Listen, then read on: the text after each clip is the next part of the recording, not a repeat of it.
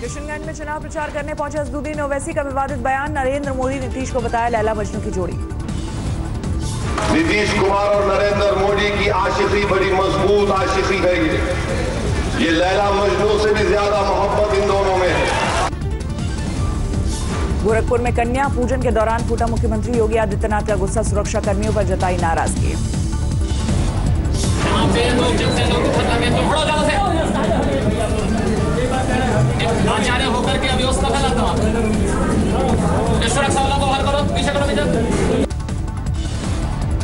फिरोजाबाद में शिवपाल यादव ने समाजवादी पार्टी को बताया ज़ीरो। साथ ही अखिलेश और रामगोपाल पर लगाया परिवार को तोड़ने का आरोप।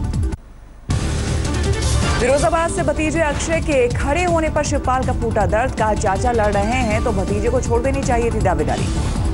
केंद्रीय मंत्री अश्विनी चौबे ने राबड़ी देवी पर किया तंज, कहा था, वो भाभी जी हैं, घूंघट में ही रहे तो अच्छा है. अश्विनी चौबे के विवादित बयान पर राबड़ी देवी का पलटवार, महिला विरोधी बताते हुए कहा, ये देश भर की महिलाओं का अपमान। रुड़की में बीजेपी के दो विधायकों में कलह, कुंवर प्रणव सिंह चैंपियन, नेहरू स्टेडियम ने दूसरे विधायक देशराज कर्णवाल को ललकारा। कम नहीं, हम किसी से कम नहीं। अरे चैंपियन की बाजू 19 इंच है 19 इंच। 19 इंच की बाजू है। और सीना है तिरपन इंच।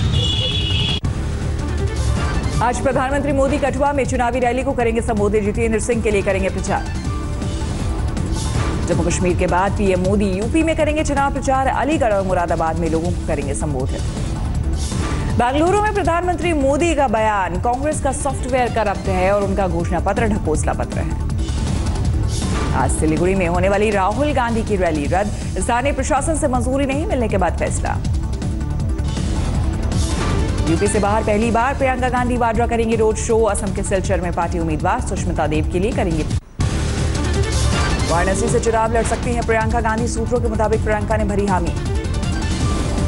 प्रियंका की उम्मीदवारी पर राहुल सोनिया लेंगे आखिरी फैसला। सुरजेवाला ने कहा, फैसला होगा तो बताएँगे। राहुल के लिए वायनाड में प्रचार करेंगी प्रियंका। अगले हफ़्ते वायनाड जाएँगी कांग्रेस महासचिव। दिल्ली में कॉन्स्टिट्यूशन क्लब में आज विपक्षी पार्टियों की बैठक, चुनाव में पारदर्शिता और ईवीएम के मुद्दे पर होगी बातचीत। लुधियाना में अकाली दल के उम्मीदवार महेश इंदर सिंह ग्रेवाल का विवादित बयान, आम आदमी पार्टी को बताया भिकारी कांग्रेस ने तीन राज्यों के लिए जारी की अठारह उम्मीदवारों की सूची, हरियाणा के लिए छह और यूपी के लिए नौ प्रत्याशित तय अंबाला से कुमारी शैलजा को टिकट रोहतक से, दीपेंद्र सिंह हुड्डा कांग्रेस उम्मीदवार। यूपी के भदोई में रमाकांत यादव को मिला टिकट गोंडा से कृष्णा पटेल को टिकट। लखनऊ से आज रवाना होगी समाजवादी वीर सम्मान यात्रा, अखिलेश यादव दिखाएँगे हरी झंडी। पहले चरण में लखनऊ से मैनपुरी, फिरोजाबाद, इटावा औरैया और कन्नौज तक जाएगी समाजवादी वीर सम्मान यात्रा। रामपुर में जयप्रदा ने आज़म खान पर साधा निशाना कहा वो धर्म के नाम पर बंटवारा करना चाहते हैं। धर्म के नाम से वो बंटवारा करना चाहता है। चिंता मत करो वो घबरा गए हैं। आज़म खान साहब आप घबरा गए बौखला गए लातूर रैली में पीएम मोदी के बालाकोट हमले पर दिए बयान को लेकर चुनाव आयोग का मंथन कांग्रेस ने की है शिकायत। पीएम मोदी के हमशक्ला अभिनंदन पाठक को चुनाव आयोग का नोटिस दिया था। एक वोट, एक नोट का चुनावी नारा। अभिनंदन पाठक ने लखनऊ से भरा है नामांकन पर्चा, निर्दलीय लड़ रहे हैं चुनाव। अमित शाह आज फिर गांधीनगर में करेंगे रोड शो, कलोल इलाके में शाम चार बजे आयोजन। कानपुर में स्थानीय बीजेपी नेताओं से मिले अमित शाह दिया चुनावी मंत्र। योगी के मंत्री अनिल राजभर ने जगदम्बिका पाल के लिए मांगे वोट, कहा जैसे चोरों को चांदनी रात अच्छी नहीं लगती, वैसे विपक्ष को मोदी ने नहीं भागे बुल्ढाना में उद्धव ठाकरे की रैली, शरद पवार पर साधा निशाना कहा उन्हें लाश शर्म नहीं। चुनाव आयोग की नाराज़गी के बाद बीजेपी का बयान, मंजूरी मिलने के बाद ही किसी कंटेंट का नमो टीवी पर प्रसारण। रफेल डील पर कांग्रेस ने फिर किया बीजेपी और अनिल अंबानी पर हमला, दिया फ्रांस की अखबार का हवाला। रक्षा मंत्रालय ने खारिज किया कांग्रेस का दावा, कहा टैक्स मामला और रफेल डील को जोड़ना पूरी तरह से गलत। विवादों में घिरे आज़म खान ने फिर रैली में लगाए बजरंग बली पर विवादित नारे। बुकल नवाब के बयान का दिया हवाला। तोड़ दो दुश्मन की नली। और भाजपा की ले लो बली। आज़म खान के बयान पर भड़के गिरिराज सिंह चुनाव के बाद अंजाम भुगतने की चेतावनी दी। जम्मू कश्मीर के पूर्व सीएम उमर अब्दुल्ला का बयान सत्ता में आने पर पत्थरबाजों से केस लेंगे वापस। रांची में लालू यादव के सुरक्षाकर्मी आपस में भिड़े जमकर मारपीट में एक का हाथ टूटा जोधपुर में मिट्टी में फंसे केंद्रीय कृषि राज्य मंत्री गजेंद्र सिंह शेखावत के काफिले की कार खुद भी धक्का देते आए नज़र। अलवर में कांग्रेस में दिखी गुटबाजी, पार्टी प्रत्याशी जितेंद्र सिंह की मीटिंग में जमकर चले लाभ घुसे। शारदा चिटफंड केस में पूर्व पुलिस कमिश्नर राजीव कुमार का सुप्रीम कोर्ट को हलफनामा, सीबीआई की कार्रवाई को बताया भेदभावपूर्ण। वर्धमान में टीएमसी कार्यकर्ताओं पर हमला, दो जख्मी, सीपीएम कार्यकर्ताओं पर आरोप। आज जम्मू श्रीनगर हाईवे पर हाई अलर्ट, आतंकी हमले की आशंका के मद्देनजर जारी हुई चेतावनी। शोपिया में सुरक्षा बलों को बड़ी कामयाबी, जैश के टॉप कमांडर शाहजहां समेत दो आतंकी ढेर। विदेश मंत्री सुषमा स्वराज का बयान, बोली, अगर पाकिस्तान ने हालात बिगाड़े तो हम चुप नहीं बैठेंगे। दिल्ली के मायापुरी में तनाव बरकरार, कल पुलिस ने किया था लाठीचार्ज, सीलिंग के मुद्दे पर हुई थी हिंसा। मोतिहारी में फूट फूट कर रोए आरजेडी नेता, आरएलएसपी के कोटे में टिकट जाने से पत्ता कटा तो जताई नाराज़गी। कोल्हापुर में भीषण सड़क हादसा। शिवसेना की रैली में जा रहे लोगों की गाड़ी बस से टकराई, पाँच की मौत। आसनसोल में रामनवमी कार्यक्रम के दौरान एएसआई ने भाजी लाठी, वीडियो हुआ वायरल। कानपुर में रामनवमी पर निकाला गया जुलूस, बीजेपी उम्मीदवार सत्यदेव पचौरी भी हुए शामिल। गोंडा में जहरीले खाने की वजह से करीब 100 लोग बीमार, सीएमओ बोले, नियंत्रण में हालात। मथुरा के शेरगढ़ इलाके में 108 फीट गहरे बोरवेल में गिरे मासूम का रेस्क्यू। सेना और एनडीआरएफ की टीम ने बढ़ाई जान। माँ की ममता ने दिखाया असर। एनडीआरएफ की टीम उसी की मदद से बच्चे को देती रही दिलासा। आखिरकार मिली कामयाबी। बच्चे को तुरंत पहुँचाया गया अस्पताल। डॉक्टरों ने बच्चे को बताया पूरी तरह सेहतमंद मुजफ्फरनगर में एक कॉस्मेटिक शॉप में लगी ज़बरदस्त आग। लाखों का नुकसान। कांगड़ा में पुलिस की गाड़ी से टकराए बाइक सवार। लैब टेक्नीशियन की पढ़ाई कर रही छात्रा गंभीर रूप से जख्मी। लखनऊ में फ़सल में लगी आग को बुझाते नज़र आए दारोगा वीडियो हुआ वायरल। गुना में फ्लाइंग स्क्वाड टीम से कुछ युवकों ने दी की दबंगई, दर्ज हुआ मुकदमा।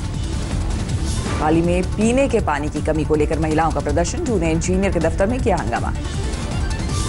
उज्जैन में हफ़्ता वसूली के लिए बदमाशों ने व्यापारी पर चलाई गोली, सीसीटीवी में कैद तस्वीरें। बाराबंकी में आग से तबाही, एक दर्जन से अधिक घर खाद बड़े पैमाने पर तबाही। दिल्ली के जाफराबाद में एक युवक की गोली मारकर हत्या घर वालों ने लगाया स्थानीय युवकों पर मर्डर का आरोप। उज्जैन में डिवाइडर से टकराकर डीजल टैंकर में लगी आग, सीसीटीवी में कैद हादसा। लखीमपुर खीरी में पोल्ट्री फार्म में लगी आग, करीब चार हज़ार मुर्गी के बच्चे जलकर खाक।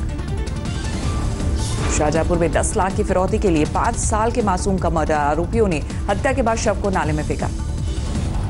बाराबंकी में 1000 लीटर अवैध शराब जब्त 22 आरोपी गिरफ़्तार।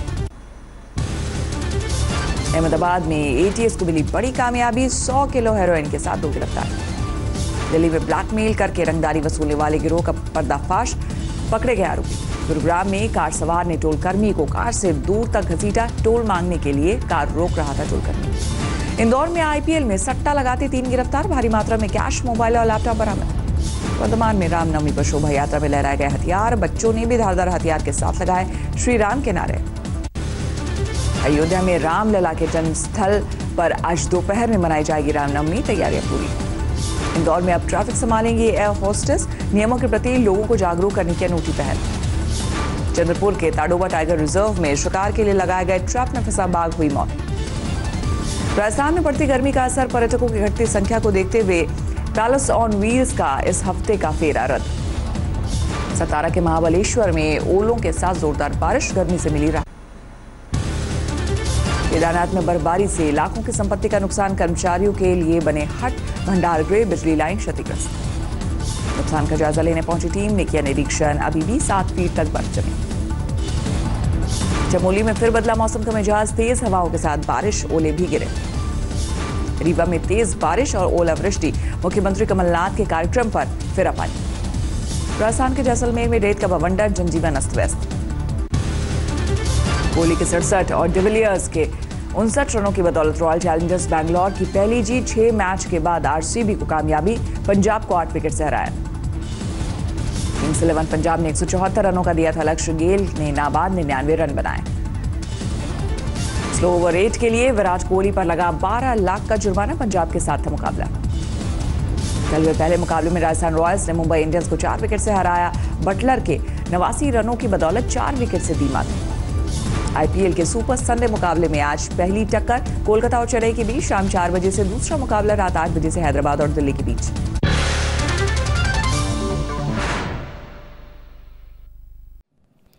लेटेस्ट खबरों के लिए यू ही देखते रहिए आज तक। और इस वीडियो के पसंद आने पर लाइक शेयर एंड सब्सक्राइब करना ना भूलें।